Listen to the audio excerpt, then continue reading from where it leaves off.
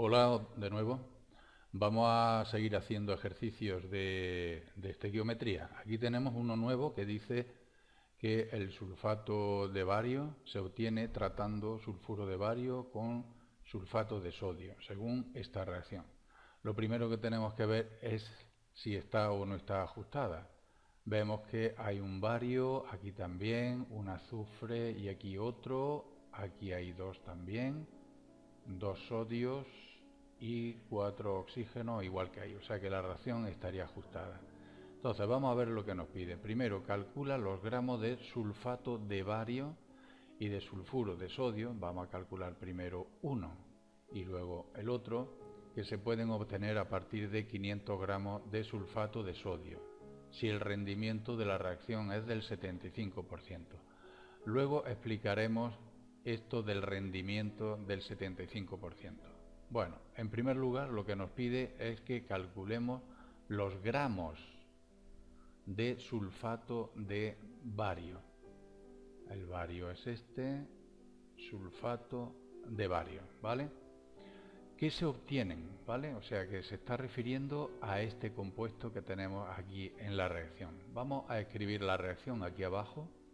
El sulfuro de bario reacciona con el sulfato de sodio, no tenemos por qué saber formulación, ya que aquí en el enunciado nos dicen que el sulfato de bario es el BaSO4, el sulfuro de bario es el BaS y el sulfato de sodio es el Na2SO4.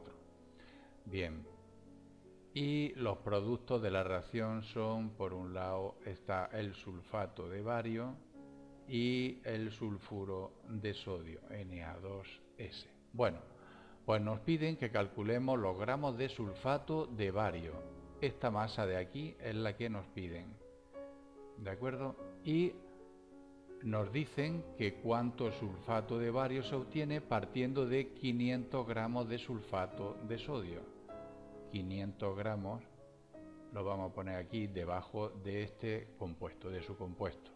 Sabiendo esto, nos piden calcular esto. Bien, nos piden entonces los gramos de sulfato de bario. ¿Qué datos tenemos? Los 500 gramos de sulfato de bario, lo voy a poner aquí.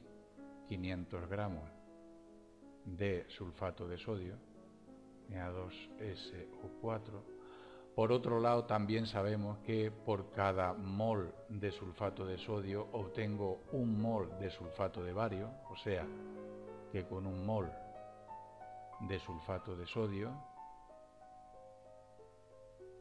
se obtiene un mol, aquí pongo una línea, un mol de sulfato de bario, ¿vale? Esto que hay aquí es un factor de conversión, también sé la masa molecular del sulfato de bario, la masa molecular del sulfato de bario. Pues para eso nos dan las masas atómicas, que sería pues 137,3 del bario más 32 del azufre más 4 por 16, que sería la masa atómica del oxígeno eso nos da un valor de 233,3 gramos de sulfato de bario. Son un mol de sulfato de bario. Y también podemos calcular la masa molecular del sulfato de sodio, del Na2SO4 tenemos dos sodios, 2 por 23, más 32 del azufre, más 4 por 16.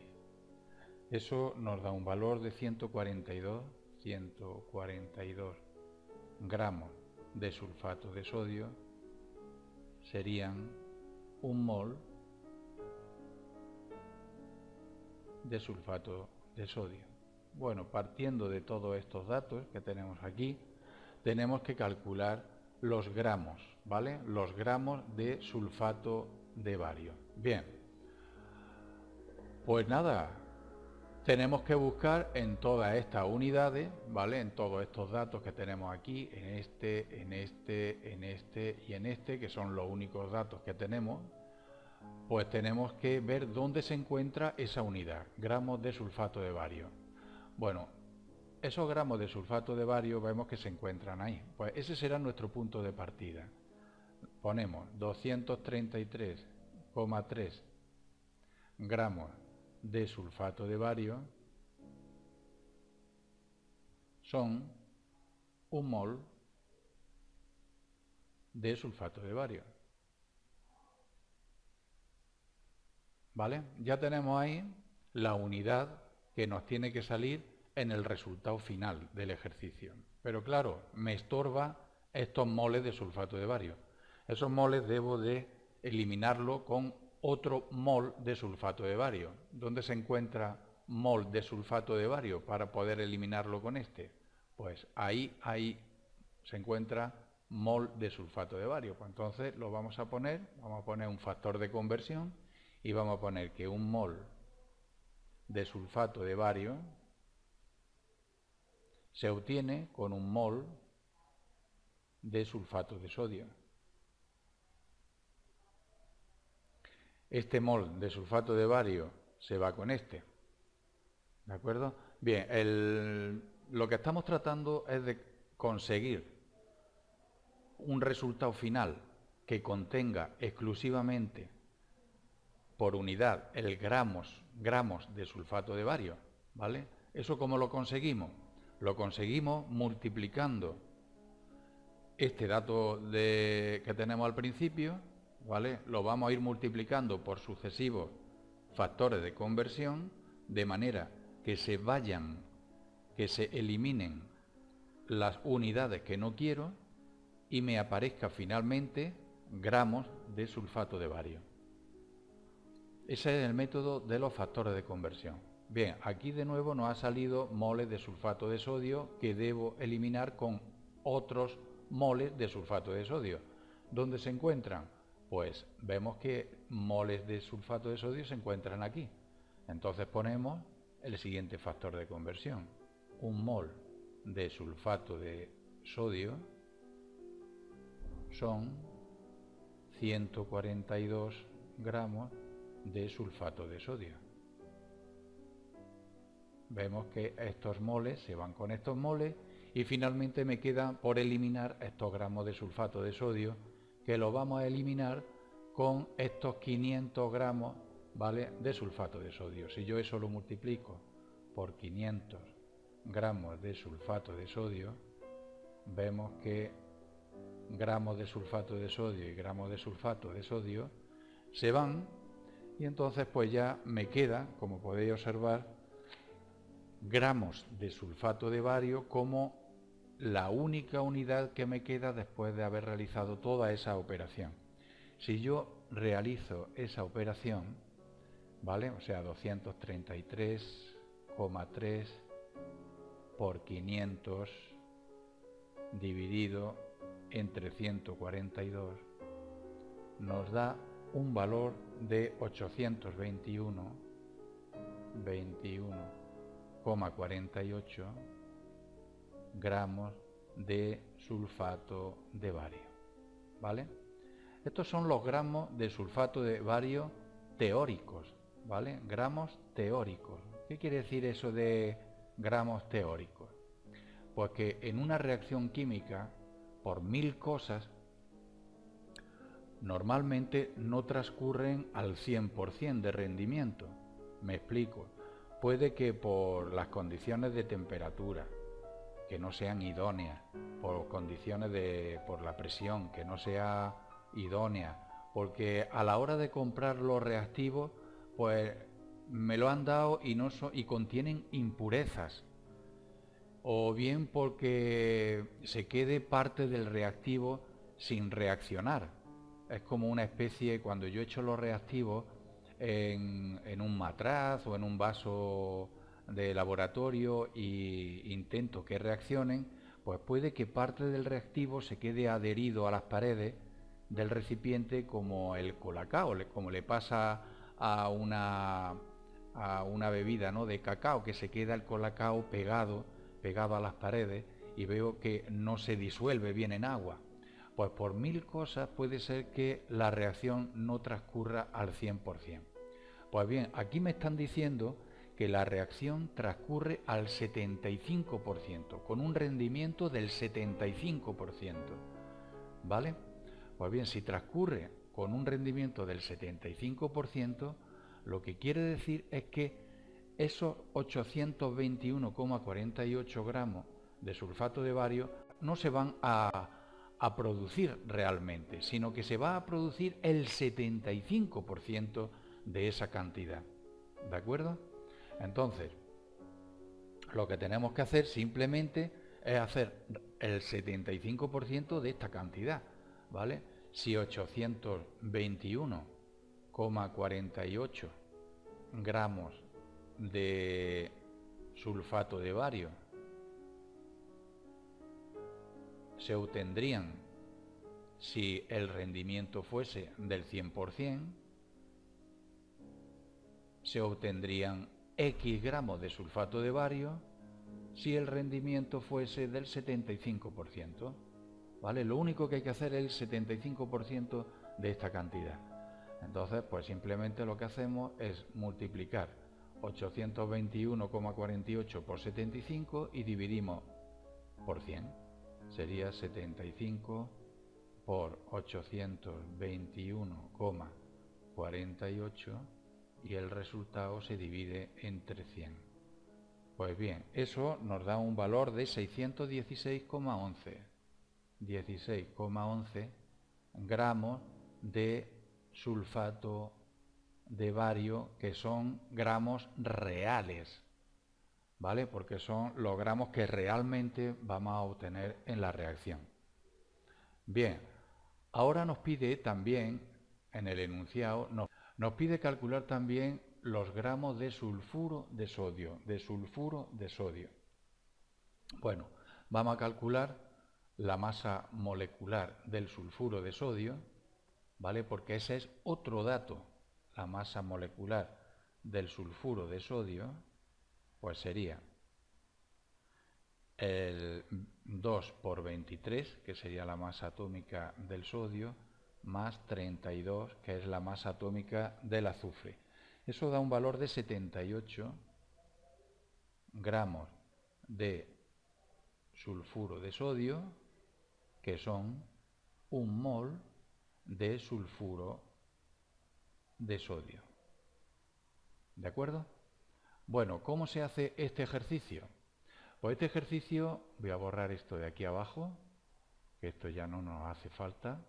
¿Cómo se hace este apartado? ¿Cómo podemos calcular los gramos de sulfuro de sodio? ¿Vale? Pues igual que antes, exactamente igual de antes que antes. Partimos de 500 gramos de sulfato de sodio y tenemos que calcular los gramos, la masa, en este caso, de sulfuro de sodio. Pues nada, nuestro objetivo ahora es obtener gramos de sulfuro de sodio. ¿Dónde se encuentra esa unidad? Pues vemos que se encuentra ahí. Pues partimos de ese dato, 78 gramos de sulfuro de sodio es un mol de sulfuro de sodio. Tenemos que eliminar mol de sulfuro de sodio con qué? Pues vamos a ver, sulfuro de sodio, yo sé que un mol de sulfuro de sodio se obtiene con un mol de sulfato de sodio, ese es un dato que me ha faltado por poner, pero bueno, se ve mirando la reacción. O sea, un mol de sulfuro de sodio se obtiene a partir de un mol de sulfato de sodio. ¿Vale?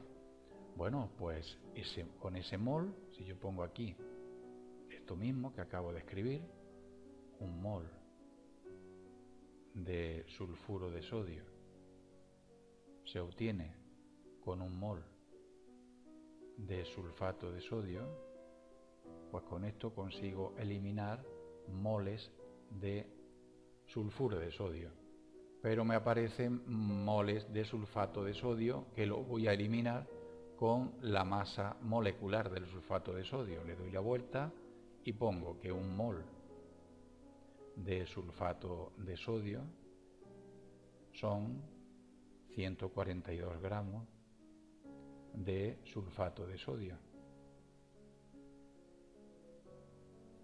Moles de sulfato de sodio y moles de sulfato de sodio se van y por último vamos a eliminar estos gramos de sulfato de sodio con los 500 gramos de sulfato de sodio iniciales que tenemos para hacer la reacción. Esto y esto se me va y al finalmente lo que me quedan son pues tengo que realizar una, una, una operación consistente en multiplicar 78 por 500 y dividido entre 142. El resultado de esta operación nos da un valor de 274,65 gramos de sulfuro de sodio, pero son gramos teóricos. ¿Vale? Teóricos me refiero a que serían los gramos obtenidos si el rendimiento de la reacción fuese del 100%. Pero vemos que la reacción no transcurre con un rendimiento del 100%, sino con un rendimiento del 75%. Pues bien, lo único que tenemos que hacer es calcular el 75% de esa cantidad. O sea, multiplicar eso por 75 y dividirlo entre 100, tal y como hemos hecho anteriormente, ¿vale? O sea que la masa de sulfuro de sodio teórico sería, de hacerlo igual que antes, si 274,65 gramos serían de sulfuro de sodio teóricos, si eso se obtendría si el rendimiento es del 100%, con un rendimiento del 75%, se obtendrán realmente X, ¿vale? En definitiva es esta cantidad por 75 entre 100, ¿de acuerdo?